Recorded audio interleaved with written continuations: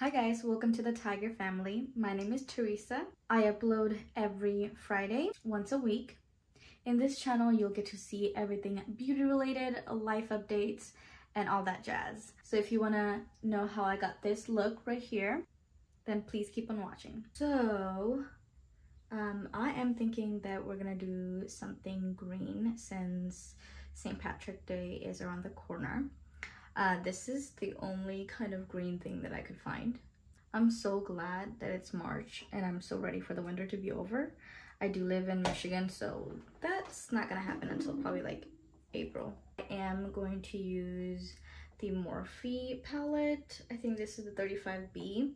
I haven't used this in so long, so I just wanted to get it out of my collection and do a look with it. And this is what it looks like. It is so pretty. I am gonna try out the e.l.f. Um, I think these are the like liquid shadows. Do my eyes first and I'm just using a eyeshadow primer and this is by e.l.f.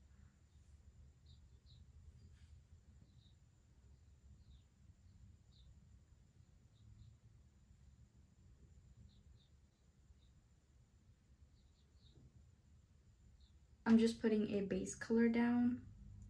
Are you guys doing anything for St. Patrick's Day? I am just gonna be home doing nothing, basically. So the Morphe palette doesn't have a transition shade. I'm using the Jaclyn Hill palette. It's the first one that ever she came out with.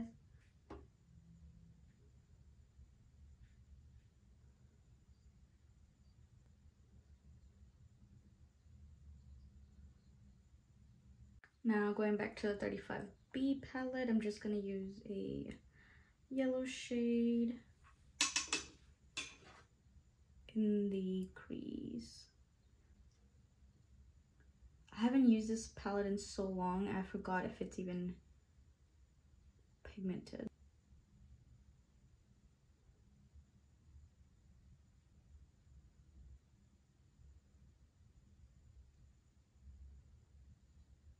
I have never done a green eyeshadow look, so this will be very interesting.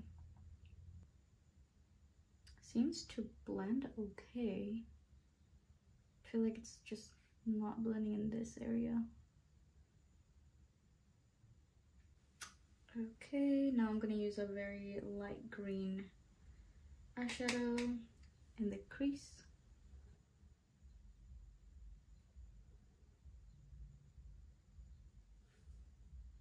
Is anyone's favorite color green? I used to not like green at all because, you know, nature, it's all green. But as I grew up, I learned to love it. I feel like it's so pretty, especially like forest green. It's so pretty.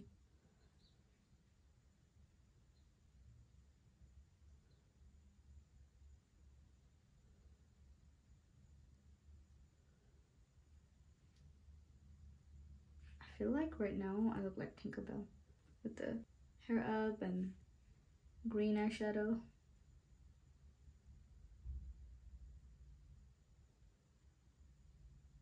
Now I'm gonna go a little darker, only on the crease, kind of like stamping. I'm actually gonna take a more dense and tiny brush to pack that color in the crease.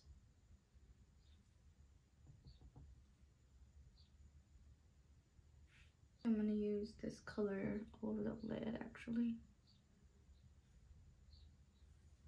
Because why not, right?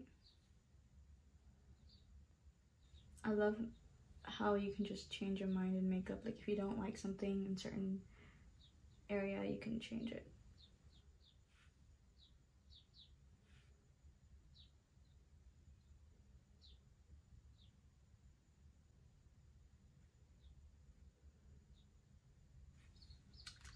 And we're gonna take a deeper color in the crease. And I'm gonna use a very dense thin brush.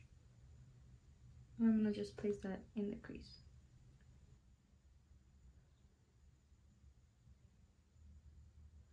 As you can see just packing it at the outer corner and just keeping it there.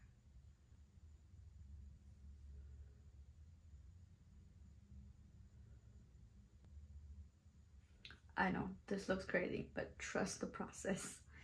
It's gonna look amazing. Especially when you're doing something colorful, usually the first thing is like, oh my gosh, what have I done? And then after that, it's like, oh, okay, now this looks better. After you do all of your makeup, it looks amazing. So now looking at it, these shadows are not that pigmented as I thought that they were going to be.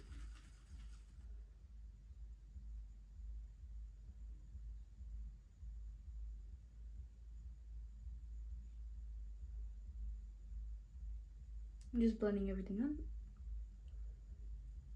Okay, so now I'm gonna use the e.l.f. glitter shadow. Oh, it's so pretty. Ooh. Look how pretty that is. I'm gonna just use this as an eyeliner.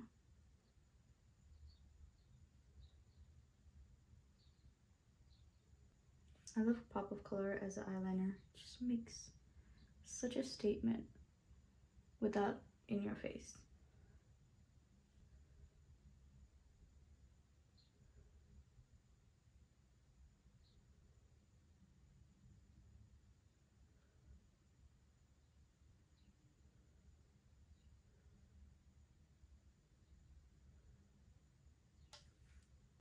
So I'm just gonna use a makeup wipe to wipe the excess away. If you're gonna do with very colorful eyes, do eyes first because everything that falls, you can just kind of use a makeup wipe and wipe it away. For the face, we're gonna go ahead and use the Wet n Wild Rose Primer Water. Okay, so for foundation, I'm using the L'Oreal True Match nude in the shade seven, 7810 deep. Just taking it on the back of my hand. And then on the face.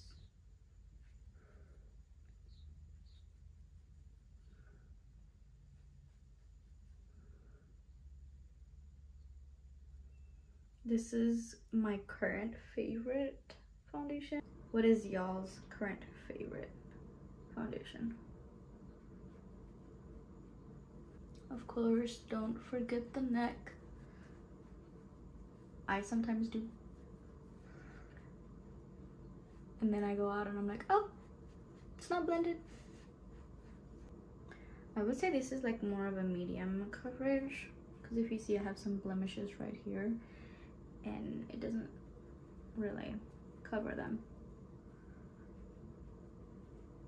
But it definitely evens out my skin tone. And my favorite concealer is the CoverGirl True Match Undercover Concealer. And this is in the shade T500 and Natural Tan. I have not been able to put this concealer down ever since I got it. I'm just placing it where I have a little bit of darkness.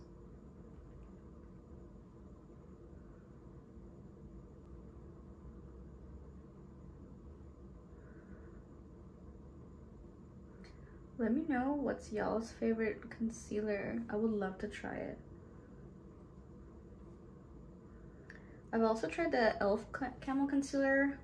Just was drying on my skin. You could see my fine lines, so I haven't tried the hydrating one, so I can't speak for that one.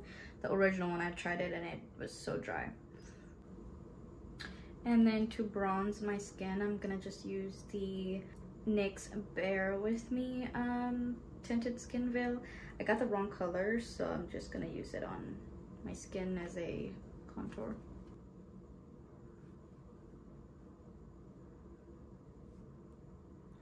A little goes a long way, as you can see.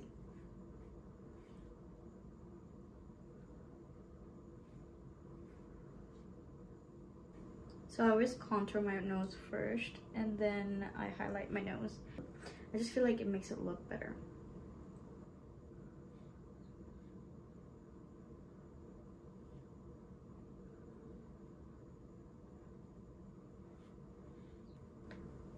And then I'm also going to take it on my jaw.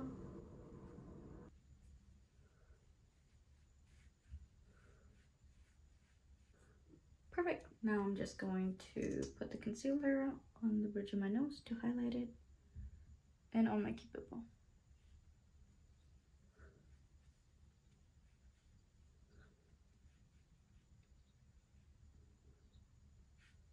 Okay, and I'm gonna do cream blush. I'm using my favorite um, e.l.f. Putty blush in the shade Bali.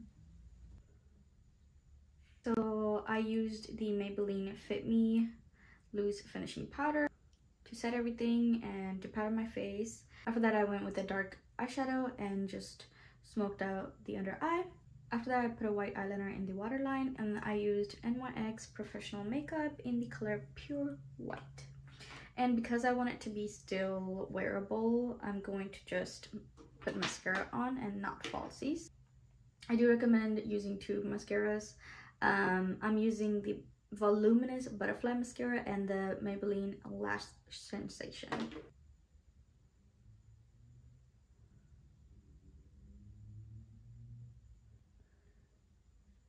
Do you guys have a favorite mascara?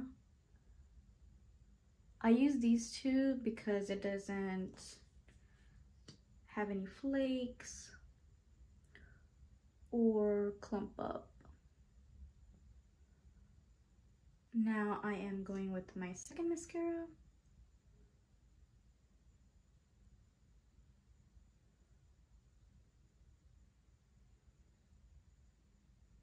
Now we're gonna finish up the face. So I'm just going to layer my blush. So I'm just using the Essence um, blush in the color Beloved. And very light-handedly, I am placing the blush. These are very pigmented, so be careful.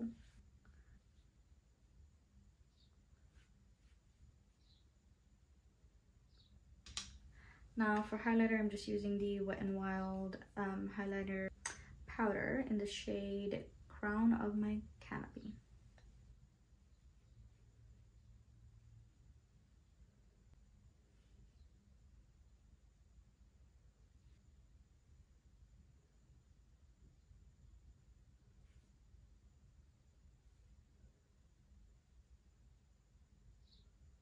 Okay, now for the lip, I'm gonna use the Estee Lauder Double Wear Stay in Place Lip Liner in the color Rose.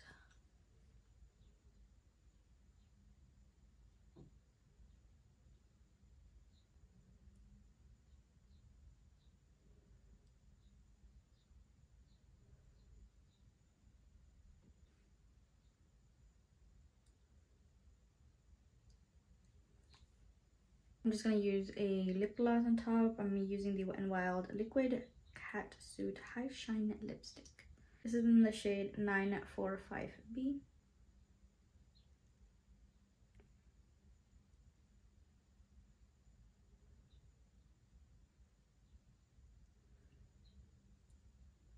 Last but not the least, we got, we're going to place, I cannot speak today. Last but not the least, we're using the Maybelline Make It Last Original Spray.